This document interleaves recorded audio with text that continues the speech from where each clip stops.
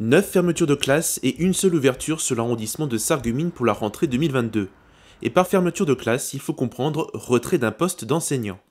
C'est la décision de l'inspecteur d'académie lors du comité technique qui s'est réuni vendredi dernier. Une mauvaise nouvelle pour les parents.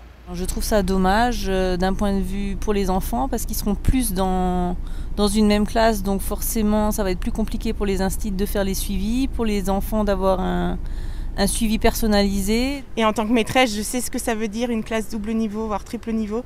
Donc euh, c'est vraiment ni l'idéal pour les enfants, ni pour les adultes. Donc, euh, mais on ne peut pas vraiment faire grand-chose non plus. Pour l'école élémentaire Baron de Gunzer à Beach, un poste d'enseignant sur 4 sera supprimé hors classe Ulysse, alors que 3 classes sur 4 sont multiniveaux. Mais une ouverture est prévue pour l'école Pasteur. On aurait été heureux d'avoir euh, à la fois une ouverture sur Pasteur et un maintien sur Gunzer. Je pense que ce qui est important de dire aujourd'hui, c'est à quel point le regroupement scolaire va avoir son sens pour justement euh, éviter ce genre de situation et répondre à différents objectifs. Du côté de la casque, une fermeture est actée à l'école maternelle Les Chenilles à Ambach. Deux enseignants au lieu de trois pour la rentrée 2022. Elle compte pour le moment 46 élèves. Euh, poste en moins au niveau des enseignants, mais également un poste en moins pour, par rapport aux ATSEM, comme c'est une école maternelle. Et ça embête beaucoup la commune. Euh, on n'aime pas perdre des, emplois, et surtout par rapport aux personnes euh, concernées. L'école primaire groupe scolaire de la Bicanalbe à Rimelin est aussi touchée. L'année dernière, 120 élèves venant de Rimelin, Obergeilbach et Erchin y étaient scolarisés.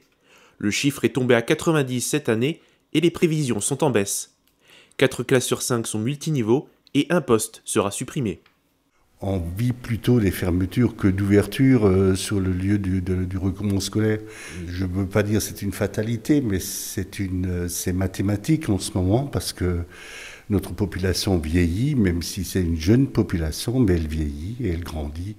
Une autre classe est menacée à l'école maternelle du Chambourg à Vousvillers et à l'école maternelle Blanche-Neige à Grosse-Biderstroff. Deux autres fermetures sont prévues à Nousvillers-Saint-Nabord et à l'école élémentaire de Velferdin. Côté Pays de Beach, une fermeture est prévue à l'école élémentaire de gros une autre à Berenthal, mais cette dernière serait annulée en cas de fusion des écoles. Le conseil d'école a donné un avis favorable à la proposition de fusion.